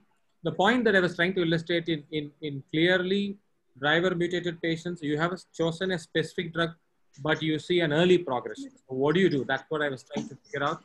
And uh, I mean, rebiopsy, you have touched upon oligoprogression, and you have also touched upon switching to a drug that has got a CNS penetrant TKI. So that's the essence of uh, this. Thank you for capturing that. Next slide. But then sometimes it's not always the driver mutated patients. It could be somebody else who has a similar scenario. Let's see how to approach that. Next slide. So this is a 64 year old patient who presents with profound dyspnea massive pleural effusion and has got a positive pleural biopsy adenocarcinoma. Next slide. And that's the picture. You can see the massive pleural effusion. Next slide. And metastatic adenocarcinoma was, I mean, everything was negative at presentation. EGFR, ALK, ROS, PDL1. Again, this was, you know, a couple of years ago, that's all we had. We didn't have a complete NGS at the time, everything negative. So then we decided to go on to put this patient on chemotherapy. Next slide. Had a partial response. Normal expected response with chemotherapy. Next slide. And continued on maintenance. Next slide. Here comes the catch. After 18 to 19 degrees, uh, 18 doses of uh, pemetrexed maintenance has a progression. So this has no known uh, mutation. Govind, so how do you approach this patient's progression, Dr. Uh, Raja, I would definitely do a rebiopsy and see for any markers now at, at this point of time. Okay, great. Dr. Sivanti? If there are no markers, then I would, yeah, definitely. Yeah, thank you. So if there are no other mutations that we see, then probably I will shift the chemotherapy to something else that I can offer. Second line chemo. Okay. Yeah. Thank you. Dr. Sivanti? Yeah, so uh, I would rebiopsy, and uh, this is a single site uh, of activity. Uh, so one has to keep that in mind as well. So this patient, as both of you advised, we have done the rebiopsy. Okay, and uh, it Now- was for NGS. This was has gone to this has gone to um, you know form Uh-huh. one, and uh, mind you, I'm talking about 2018. Next slide. Has got a uh, uncommon mutation. Next slide. And that is exon 20 insertion and A763 and Y764. So the point is we have an uncommon mutation on progression of a patient who was treated with chemotherapy originally not known to have a mutation. So coming to Dr. Amit, you have an uncommon mutation. What can I do, Dr. Amit? Uh, so definitely it's a, tricky situation, but afatinib has shown some um, uh, responses in these situations when you have insertions in exon 20. So that can be tried in this patient. And, um, uh, but if you want to go beyond, I think uh, chemotherapy, second line chemotherapy is definitely an option. Immunotherapy is another option which we can still try. Um, or combining immuno with chemo will be the, the other options. But Thank single you. agent TKI, yeah. Thank you. Somebody, somebody in the in the in the chat box wanted a poziotinib, and uh, they were also gracious to grant that if you don't have it, you can use a afatinib. Next slide. And he was started on a afatinib on your advice. This was in May 2019, and you already see that there is again a partial response. Next slide.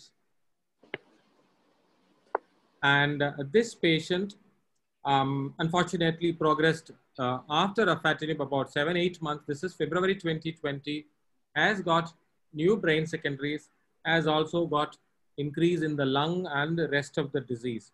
So Vamsi, what can we do now? On afatinib, what can we do now? Chemo So, done, uh, afatinib done, progression now. So to be honest, this is behaving much better than the typical exon 20 insertion. Actually, this has been almost uh, close to two years, so it's done well. Uh, at this point, I would probably either put them on a different chemotherapy protocol, something like a paclitaxel carboplatin, or else we can go with an ABCP type protocol. Now, ABCP would not have specifically looked at this subset. They have looked at EGFR mutation, but exon 20 insertion, I'm not aware. But uh, for lack of anything better, that's an option, or else only chemotherapy is an option. Okay, the point that I was trying to come at is, you know, it was covered by some of the previous speakers that, you know, we know the typical progression and uh, what happens in first generation TKIs and the data on second generation progression and how to manage them. You did hear, you know, some beautiful data from the previous speaker. So that's the point that is illustrated in this case. So next slide. Next slide, Kashish. So this patient went on to do another, you know, liquid biopsy in Guardant 360, and here comes the result. Has got now the same EGFR uh, exon 20 insertion is still persistent, you can see, but is now detected to have T790 mutation. Dr. Govin, we come back to you. What do we do? Dr. Govin? Not audible. Dr. Sevanti? Yeah. So, uh, you know, you see here osimertinib is in, is, is in both. And I was just typing in the chat box, there is data with uh, double dose osimertinib. There's a phase two ongoing trial. There is the initial signaling. So one would think osimertinib for sure. Although when you look at the structure of uh, uh, exon 20 insertion, the insertion site is very tight and it only allows for a smaller molecule. A fa- Afatinib is that molecule, but you've already exhausted that. So I would consider osimertinib here specifically because there's a T790M clone as well. So one of the chat box question is, why did I do another biopsy? That's what and I must confess that this is a patient driven. He has heard about Guardant 360. But thank you for your comment. Next slide. Govin. So, uh, you know, uh, I'm coming to you with a more difficult case. Um, next slide. Every patient now we are routinely doing these mutation analysis. No other choice. This is a lady who is 78, advanced non-small cell lung CA, adenocarcinoma, has been found to have RET fusion. Govin, what can we do now? Uh, I, I don't think we have any drug right now. Uh, I think there are trials ongoing, so I have not come across a RET fusion so far. So I think Raja, you have to answer this question. I'm Cabozantinib can be tried? So Cabozantinib? Sorry? Cabozantinib? Cabozantinib. Cabozantinib. That's right. So, uh, you know, uh, I mean, you know, everybody is typing. Senthil is also typed. Cabozantinib and all that. Totally agreed. So we did try to get cabozantinib on uh, the sun is in US, and uh, we are trying to, uh, you know, apply it in a, a compassionate bed. But that's not the point. The point is this. Apparently, uh, I hope that one of you can answer. Apparently, unlike the EGFR and ALK and uh, even the ROS1 and uh, some of that we have understood. The RET and NTRK are totally different, I believe. Even if you see a change and they are not necessarily the same and they may not respond to kind of drivers. So a bit of a confusion, NTRK and all that. So can anyone take that question? Um, can uh, Dr. Uh, Vamsi take that question? Uh, NTRK is actually not very easy thing to test. Okay. What we found even in one patient was we had some low level of NTRK mutation present. The fusion that is there may need to be confirmed by an IHC to make sure that it's actually expressing fusion and not necessarily a report on the NGS which says NTRK plus is going to be a indicator of efficacy. So that was the uh, foundation what they said. So you need to confirm with an IHC, which we don't have here. Yeah, thank you for illustrating that point. That's what something similar I was trying to bring. Uh, we'll move on. There are a couple of other good cases. Next slide. And this patient, you know, in short, this is another gentleman who presents to us, you know, all the lectures that you had about brain mets and all that. This patient um, it has got, uh, you know, multiple small brain mets in frontal, parietal, occipital, and temporal. Small. All of them are sub-centimeter, two to three, four millimeters kind of thing. Absolutely asymptomatic. When we worked up for a CA lung advanced disease, this is what we picked up. And when we did the focus assay, we had a exon 18 deletion. So the point that I'm trying to bring is that there's an uncommon mutation and there are some small, small brain met and it is asymptomatic. So I will now come to Dr. Vijayendra Reddy. Sir, would you want to compulsorily radiate this patient or wait and watch? No, I would always uh, wait and watch in such kind of patients, especially if they are multiple and they're very small and nothing is going to be of any benefit by adding radiation. It will only cause morbidity. The so be mindful of the quality of life. Totally agree, yes. sir. Amit, would you want to pick the choice of which first line drug you will choose given this permutation? Uncommon mutation, there are few small so, brain mets already there. Yeah, so we know afatinib uh, works uh, quite good for uncommon mutations and have, do have some brain penetration. So afatinib would be my choice. Next slide. So this patient was put on a TKI. I'll come to that and uh, that's uh, the EGFR, you know, rare mutation. Next slide. What happened is after three months, we did a scan. The scan showed kind of marginal increase in the right lower lobe, but then there is a reduction in everywhere else and the rest was stable. So can I say that it is, uh, uh it's, it's an oligo progression in one place? Then again, uh, would you have to radiate all oligo progression or not? That's the question I wanted to ask. And then we'll finally come to the drug choice. Dr. Vijayendra Reddy, sir. Sorry, I thought the question is gone. Symptomatic oligoprogression. Would you still radiate or not? Uh, single oligomet, you mean? In the, in the, in the, sorry, sorry, sorry. Mild increase in the uh, lung uh, lobe alone, but everything else was stable. Yeah, that's a good, uh, that's a good case to discuss on and you should certainly consider uh, giving uh, SBRT to such lesions. Okay. Next slide. We went on to observe this patient, but unfortunately another three months later, he had a profound increase. Next slide. That's what he had a, a prolific systemic uh, increase. Next slide. And the brain have, uh, this is the Jan 2020, as I said, and that's the May 2020 has increased. Next slide. And now has got a good progression in the brain lesions.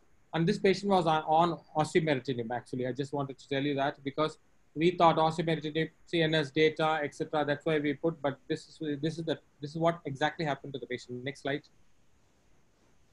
And that's the brain lesion. Dr. Vijay Reddy has already answered that he would observe, but at this point, we definitely need his help. So we have already referred to the radiation team, and uh, um, they are doing hippocampal sparing radiation for this. Next slide.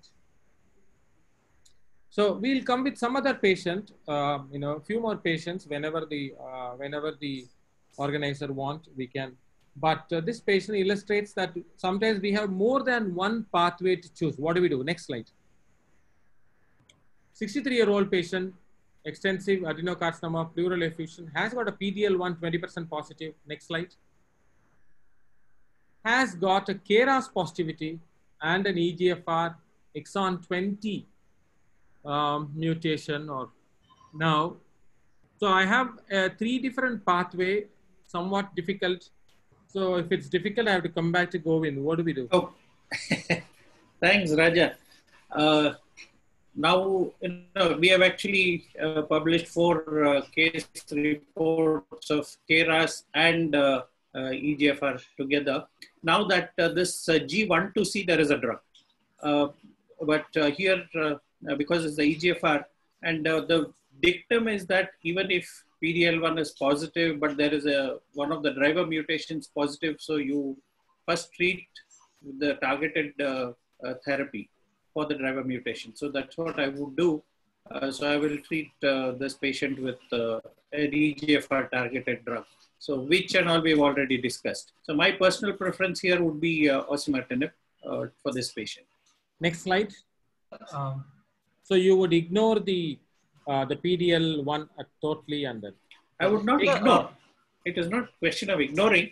Uh, the thing is that uh, when you have a driver mutation, uh, the immunotherapy does does not work very well. So I would first try and target the driver mutation. Vamsi, you put your hand. Sir, yeah. Coming to yes, you, sir. sir. Slightly more complicated uh, situation than the previous patient. Is another patient who is 52 year old, has got extensive disease, but please note, most of it is spine, bone, adrenal, and all secondaries. This patient presents to us in February 2020. Next slide. And that's the presentation. Next slide. And uh, presentation. Next slide. And next slide. Has got this. Vamsi, he has got uh, a 90 to 95% PDL1, but that's not the only thing. Next slide. He has got a KRAS positivity. So I want to ask you, in patient who has got a very high score on PDL1, if there is some other confounding factor like a KRAS, um, does it dampen your enthusiasm and what would you do? Uh, it would definitely dampen my enthusiasm. Uh, would prefer uh, a marker if you have, like in this case, it's a KRAS and only 4.6%, which is a little difficult here. In this patient, maybe immunotherapy may still be a good option, may still be a good option. Uh, but the pre, but you know if the care if they have any other marker and immunotherapy will not be an option. So that's very clear. EGFR ALK ROS if you have positive, definitely immunotherapy is not the first option. Got it. Next slide. Yeah. Next slide. Dr. Dr. Raja. Yes. KRAS KRAS mutation is also a good biomarker for response to immunotherapy, though it's yes. driver. Actually, I was also going to say that Absolutely. KRAS would be a good marker. Thank you for saying that, but I'm going to show that the patient did not respond to all put together. That's you know, look at this patient. Simply is rip-roaring presentation. So what do you do? So it's not that easy, you see. And Biopsy slide- again. Next slide.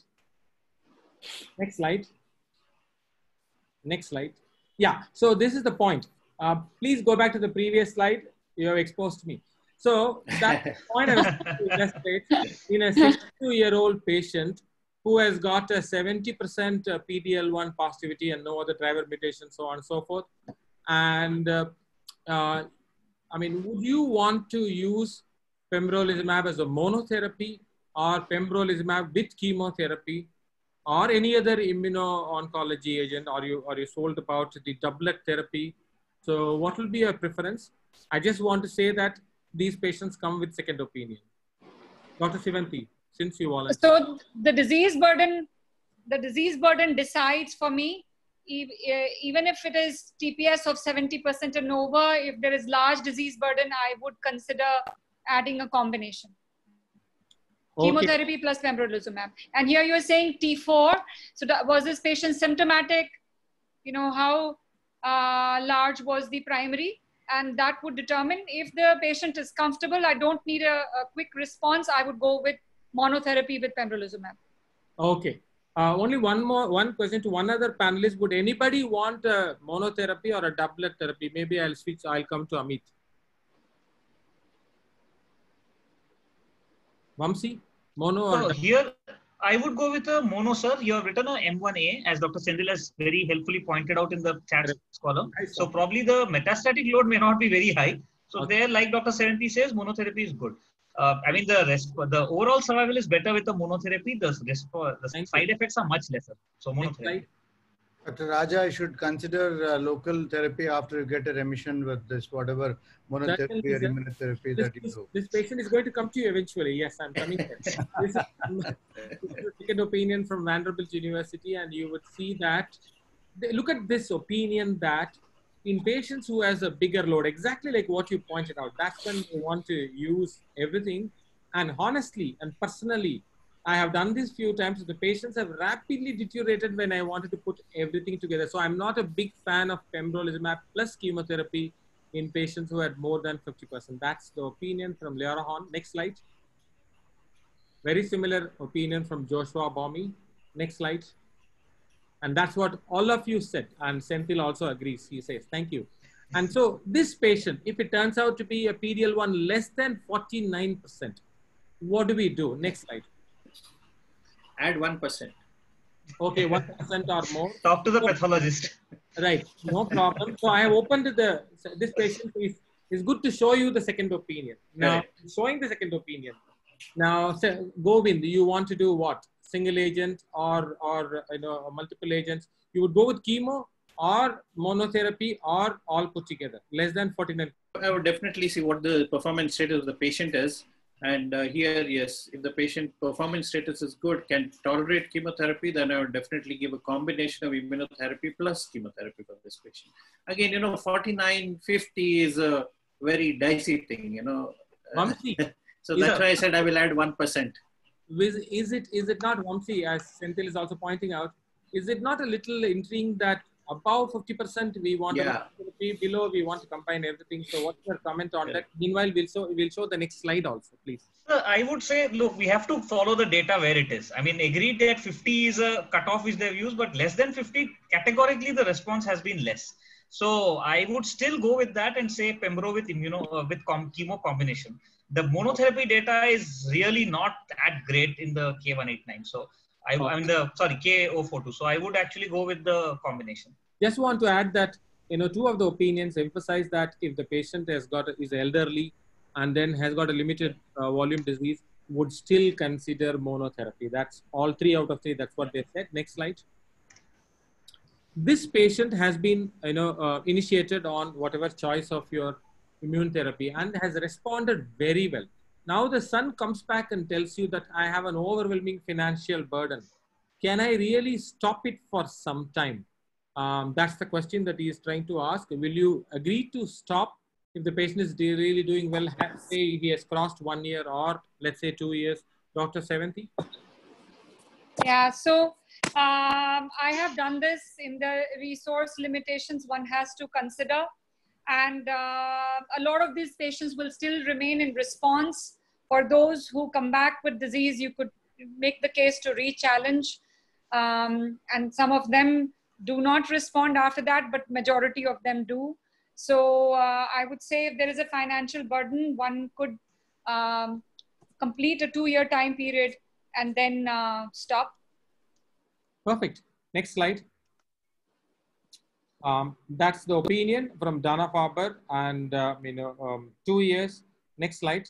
We'll come to that why and everybody is aware of this data. You know, checkmate 153. In this entire discussion, we have never shown any data. You know, just this one alone. Please allow. The the registrar is also appearing for some exam, so he has read up something and has shown you. Next slide.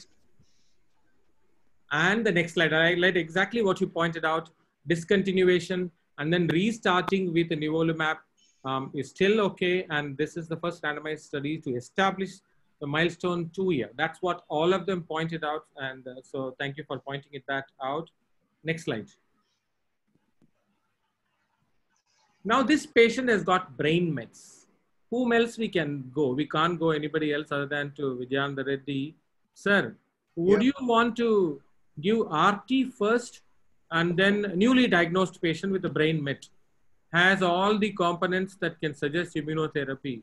Would you want to give, you talked about RT in uh, driver, uh, you know, mutation driven cancers, but what about immunotherapy patients? Do you give RT first or you want to wait till the immunotherapy works and hold on RT? How will be your approach in this? accidentally detected lesions, small lesions with no edema, no uh, no symptoms from the patient, I would certainly wait and watch. But if there are one or two or even five, I would like to do SRS. Uh, although, I mean, if they are sizable and they are causing any kind of edema or symptoms, certainly treat them first uh, and then go for immunotherapy. Right. Vamsi is saying that RTS at some point. Next slide. So I meant early. So do not delay RT till patient becomes symptomatic for six to 10 months. I was adding actually that you start off your IO within two, three weeks, add the radiation early. Do not keep it at progression. Vamsi is saying that RT early. Sorry, you have to just respond to that uh, at some point and early. That's what he says. Vijayan sir, you would respond to that. And right. that's See, we, when you look at the MRI scan and if you look at small lesions started in the brain, those kind of patients are not good candidates for radiation. So the giving 30 gray in 10 fractions is as good as not doing anything. They actually become very sick and they'll be ineligible to go for any kind of chemotherapy or immunotherapy at a later date. So I'm not very keen to do that. But if you have around eight to 10 lesions which are very well defined, yes, which is sizable, and then we would certainly do whole brain RT with uh, SIB, what you call simultaneous integrated boost to those big lesions. So those kind of patients, certainly we would start, even though the patient is not symptomatic, which is expected to be symptomatic sooner than later. Uh, next slide. Meanwhile, I'm also just reading one comment from Professor Pankaj Shah, yes. who is my teacher, guru, and everything. He has written that he is so proud to see his registrar. You know, I mean, I'm still continuing to be a sir. Uh, all my salute to you, sir. Everything that uh, it's all your blessing, sir. Thank you, sir. And you know, this patient uh, is on immunotherapy and has um, you know, this is a tricky situation. We'll come to all your panelists, and this is going to be the last case. The patient is on immunotherapy and has shown some progression after two cycles. What would you do in such situation? Next slide. I'm opening this up. I'll ask Vamsi. Sir, uh, depends on where the progression is. If it is in the same sites and only slight increase in size, I would still keep an eye, uh, keep it as a pseudo progression and wait for some time. If it's a gross progression, multiple new sites, then it's probably a hyper progression. In which case, I would stop the IO and switch to a chemotherapy. Govin, patient factor. Raja will also like to see how symptomatically he is worsened. If Next the slide. symptoms are worse, then it is definitely a progression. If it is not, if it is mild, then I would really wait and uh, continue the immunotherapy and reassess maybe uh, much earlier, maybe after four weeks uh, or six weeks to see what exactly has happened to the so-called progression. And Okay, then I would take last set of question. Thank you, Govin. Last set of question. And there is a patient who has responded well to immunotherapy, but you had to discontinue due to some immune-related uh, adverse event. They had to be stopped. And the patient is doing well after some time. Would you want to restart? And then there is another situation wherein a patient who was given, you know, um, uh, uh, after progression was given a second line chemotherapy, say some non-IO therapy was given, and then again continues to have a second progression. Would you want to re-challenge? Basically, it's about re-challenging with immunotherapy in a situation where there was an adverse event, and then in another event wherein there is a progression after a second line option, say salvage chemotherapy. This is the last set of questions. So I'm going to run to all of you, Dr. Sivanti. Re-challenge. Yeah. So first uh, answer, retreatment, yes. Uh, if the IRAE has gone to less than equal to grade one, I would consider re-challenging uh, if the patient was benefiting, absolutely. Re-challenging in the second setting is more controversial. I don't think we have, I'm not aware of data where you could bring, bring back with the same uh, drug after uh, exposure to chemotherapy with the same uh, drug of, with which the patient progressed. If you have a combination available as a clinical trial, I would consider that or add a CTLA4 antibody to that. There should be an angle. Fine, good. Second, sli- next slide. So this is the two situation. You stop due to, I mean, adverse event or you stop, treated something and has progressed and all. We ourselves have salvaged with a double antibody, um, uh, sorry, double immunotherapy and so that's fine. And so we're coming to Amit. Uh, what is your final take on re-challenge? And uh, next slide. I would I would recommend to do a repeat biopsy to look at the PD-L1 expression. I'm going to finish. If it yeah, if it is higher, then your confidence goes up, and you should still continue IO because there are recommendations regarding giving IO beyond progression also. So you may have an advantage re-challenging the patient. So that's the guideline, and uh, you know, um, it's not. Some of them would say that it is not, but you decide based on the situations, and as uh, you know, it, it, this is purely at this point in time, it is still art of medicine there rather than you know data medicine at this point in this area. Next slide. I'll leave you all with this, and uh, you know, uh, thank you for allowing me to be your registrar. I really learned quite a bit from all of you, and thank you all the panelists. I give it over back to Kashish. Thank you. Thank you so Thank- much, sir. Yeah, this was really a fantastic uh, set of cases. I think it was absolutely amazing, and nobody wanted you to stop, Raja. You've done a great job. Uh, we've had so many comments and questions. If Dr. Madan Pia is here, he had an important question about the cost of therapy. Madan, if you are there, we will unmute you. Uh, Madan sir, we've unmuted you. Please go ahead. The panelists will answer. I'm only. Okay. Um, yeah, I just had a question about this proton therapy. I was a bit curious because the price is very high, and I just wanted to know the price. You know, how much would it cost on average? Srinivas, are you there? patient with. What one cost? Srinivas?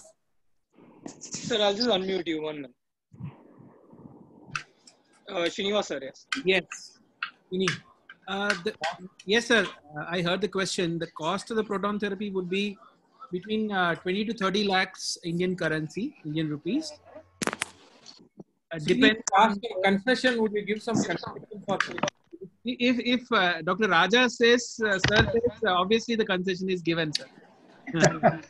Okay, thank you very much. So, uh, Ravi Jaiswal had a question. Can we unmute Ravi Jaiswal, please? Ravi, we Uh, tried Dr. to Ravi, you'll have to unmute your Yeah, mic. Correct. Uh, thank you, sir. I, I uh, got the answer to my question. It was about uh, the overall survival of the Noronha et al. study would be better than or equal to the osimertinib data. Then could we consider this and it will be the end of the debate? But I already uh, got the answer to the question. Thank you. Yes. Fantastic. Thanks. Thanks very much. Virat is there. Can we unmute Virat, please? He had a comment or a question. Virat, you'll have to unmute yourself. We can't unmute you. Uh, what is the dose of Dexa that you give? Actually, there is confusion what dose to give. And also, typically, EIT versus IP, which should be followed. Can't hear. Somebody wants to know the DEXA dose. And um, Dexa for leptomeningeal disease. Correct. So I had said uh, actually it's 8 milligram twice daily. You can even start with 8 milligram three times daily and quickly go down. I just had a patient. And Sir, it's you given only for uh, uh, high ICP. And that you figure out with the CSF manometry. excellent. Dr. Rajesh Bolam. Oh, he just left. He was there for a while. Babita is there. If you can unmute Babita. Babita, can you Uh, unmute Dr. yourself? Babita is not there. Okay, she's also not there. Then Dr. Sardana. Shefali Sardana. Ma'am, you'll have to unmute your mic. Yeah, yes, sir. Go ahead. Sir, excellent panel discussion. So really uh, worthwhile and enjoyed. Just I made a comment that I also had a patient of RET mutation positive, and uh, in the scarcity of of any working medications, we started him on ABCP protocol, and six months now down the line, so it's a good response. Continuing with that, so that's what I wanted. Thanks. excellent. Can we take the final comments by Dr. Pankaj Shah? Hello. Sir. Good evening. Sir, good evening, sir.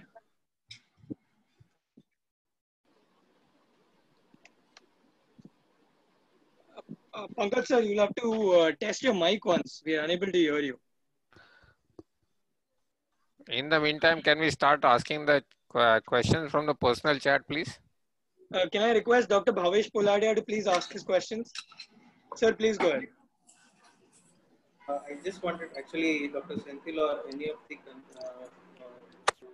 uh, is there any trial which is contemplated where osimertinib will be added with chemotherapy uh, instead of just gefitinib? Yes, yes, yes. Yes, uh, Bhavesh, there is an ongoing study, so we will, uh, you know, await the results of that study. There is a study that's combining chemo plus osimertinib, so FLAURA 2. FLAURA 2 study, chemo plus osimertinib. Bhavesh, you have another two questions. Yes, Please sir. go ahead. Yes, sir. Uh, sir, if there are a combination, uh, as we have seen that there is, if there are two combination of EGFR mutation analysis, uh, mutations which are present, we prefer osimertinib. It is the same if there are more than two uh, mutations which are seen on a NGS for EGFR, or we go for any specific uh, uh, TKI, like if it is 19 exon 19 positive, 790M positive. Uh, exon 20 positive if it if it is coming more than two or three uh, then should we choose according to uh, the highest or the worst prognostic this thing or osimertinib is the answer for all of them So, so you could uh, look at it in two ways, Bhavesh. One is this is a situation that's called as a complex mutation where you have more than one mutation. So there are two ways of approaching. One is to look at what's the allele frequency because the highest allele frequency is what is uh, the driver at that point in time. But here, since all the three are EGFR, all the three are drivers.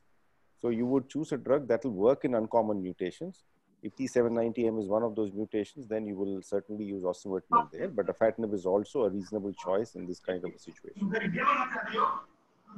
Perfect. One more Jayanti uh, Patel, one more last cycle. you want to ask your question? last, last question sir Oh, Bhavesh, go ahead, please. Sorry. Uh, sir, uh, so are we doing uh, EGFR and uh, PDL1 or all the uh, mutation analysis even in patients those who are not stage 4? Is it a routine at all centers or somebody has uh, started doing it or uh, what is the talk, what is the take on uh, this? we are doing this uh, we are doing on early stage uh, as well mainly for um for data right now but i think now we have the ADAURA study and earlier also they have been um, you know uh, looking at locally advanced uh, egfr positive uh, lung cancer so it's worth collecting that data and now you will have implementation as well Jayanti Patel, can you ask your question? And then we'll Yeah. take Rajesh Jindal. Yeah, it was an excellent presentation. We all enjoyed it. I just want to know that the role of bevacizumab bevacizumab was not taken into consideration anywhere into the discussion. So, uh, sir, can I answer? Please go ahead. So we didn't discuss. Uh, I didn't discuss bevacizumab as part of my presentation primarily because uh, of lack of time. So there are combination studies which shows that the progression-free survival is around 16 months, though not as high as osimertinib at this point in time. Uh, but the reason why I also didn't discuss it is because there's no overall survival benefit for the combination at this point in time. The NEJ study that will be read at ASCO this weekend also is not showing an overall survival benefit. The second important thing is that the adverse event profile of these studies is also bad. There's a 30% discontinuation rate for adverse events. So that's the reason why it's not one of those preferred combinations for patients with EGFR mutant disease at this point in time. In the future, if you get trials which show that the overall survival benefit is there, or if the uh, adverse event profile is uh, much better, then probably that will come up as one of the options. All right. Thanks, Senthil. Before Rajesh asks his questions, I'm just going to read out what BB has said. What is the best option if a mutant patient on first line osimertinib progresses within three months? Have you seen such faster progression in your patients? Uh, so I am yet to see, but there are always, you know, the response rates for osimertinib is around 85%. Uh, so there's about 7 8% of stable disease. So 5% of patients will progress even if there is an EGFR mutation. One should not uh, think that, uh, you know, there's always going to be a response and great response for all patients. Right. So in a situation like that, testing again is one possibility, or the best thing would be to go to uh, ABCP That's what I would do in a situation like that because that's a bad patient. You want to put all your, uh, you know, you want to put your best foot forward.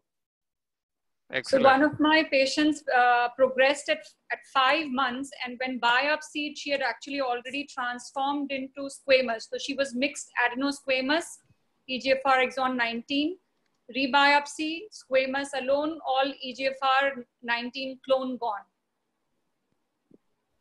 And make sure you're ruling out small cell transformation, though it doesn't occur so early, but that's another thing that you need to look at if it's three months. Rajesh Jindal, Sir, I just had an observation to make. Please.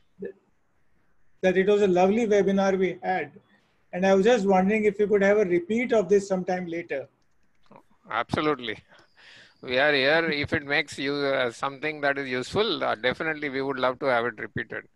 But Thank I you think it's the is the star uh, faculty who have done such a great job. Yes, sir. Arun Shahi from Kathmandu, he has a question. Please go ahead, Arun. Arun, you'll have to unmute yourself. Yeah, you are Hello. unmuted. Go ahead. Yeah, so, so good evening, sir. Excellent discussion. I enjoyed. So we have a like uh, osimertinib shortage here in Nepal.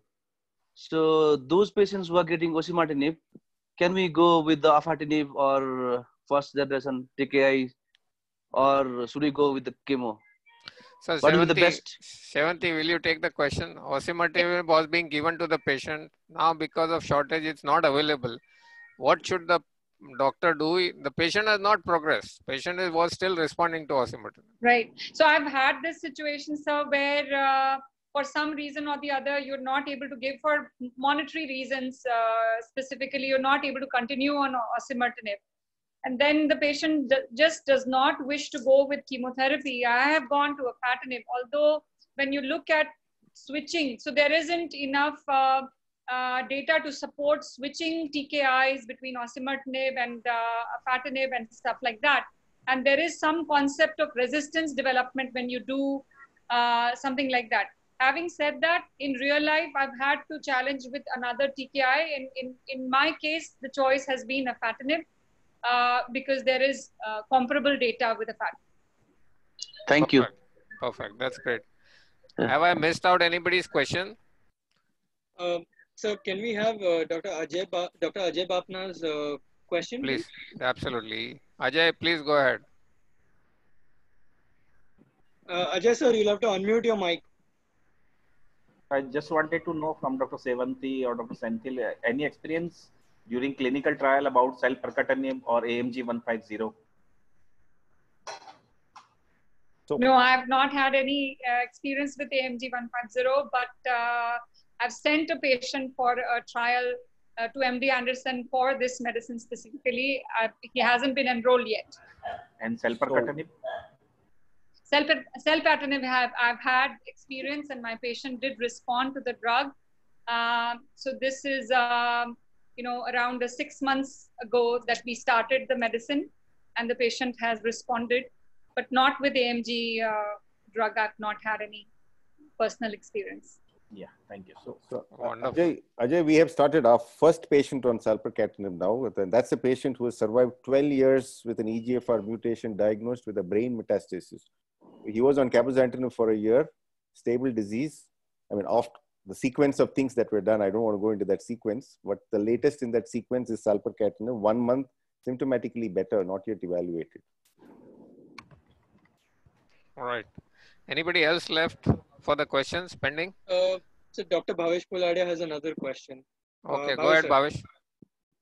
I think Dr. Senthil uh, answered that. I was just uh, curious whether, uh, like ABCP, whether uh, osimertinib will be added to BCP to just intensify the treatment in first line.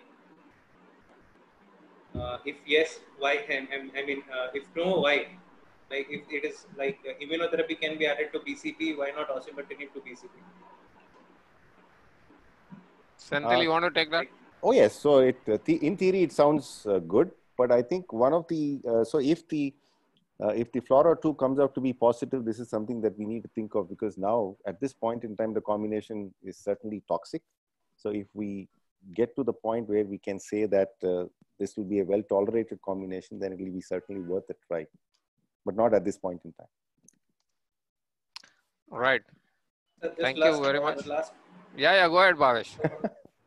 uh, sir, actually wanted to ask whether anybody, any sir, just taking uh, uh, just my questions out. No, go ahead, Uh, go so ahead, go Like uh, any any uh, sir, uh, anybody or any situation where uh, we have uh, anybody has used afatinib after uh, in second line after first line pro, uh, first line progression on gefitinib, erlotinib or osimertinib. Whether does it work in second line after first line progression? Okay, think- so yeah, go ahead, Sivanti. No, I, I was just saying, I think all of us have. And, uh, you know, there's no clear cut to this. I have had successes, but I've also had failures where the patient, you know, before we didn't have, uh, earlier we didn't have so many molecules. So, yes, uh, I've gone to afatinib after erlotinib, or I've gone to afatinib after osimertinib when the patient doesn't want to switch. Um, and I have uh, certain patients in control right now Yes, with I- that switch, but it's not recommended.